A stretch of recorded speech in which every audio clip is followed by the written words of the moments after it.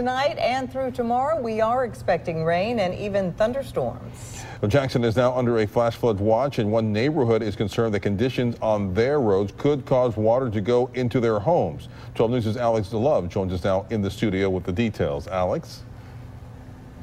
Yes, the two women I talked to, one who wishes to remain anonymous, have lived off Pecan Boulevard for over 40 years. But in the last two, they have seen their road and properties engulfed when it storms, and it, they point to backed up drain pipes as the problem.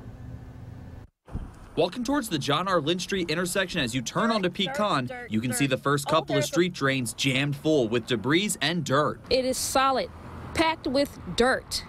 So you tell me where is the water going to run to? It's going to flood people's houses. It's hard to walk out there, and even in the backyard, it's too watery and muddy to go back there. Earlier this year, one of the ladies recorded the moment water took over her yard and entered her home, ruining her entire first floor. The carpet, the padding, everything.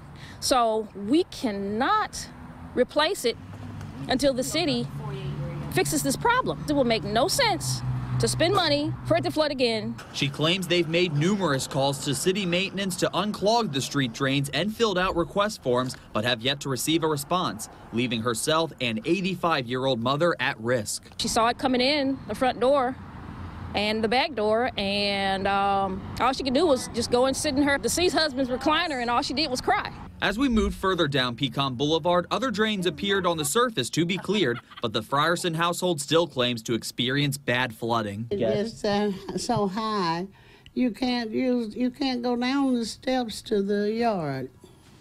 You have to use the driveway.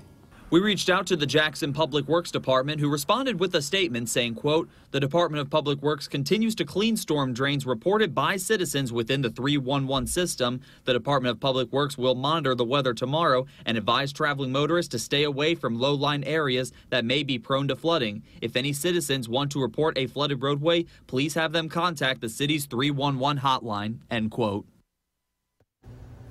In the midst of all this, both ladies told us they're still charged sewer fees which come out of their Social Security funds, money they believe isn't put to its to good use when you look at the condition of the drains.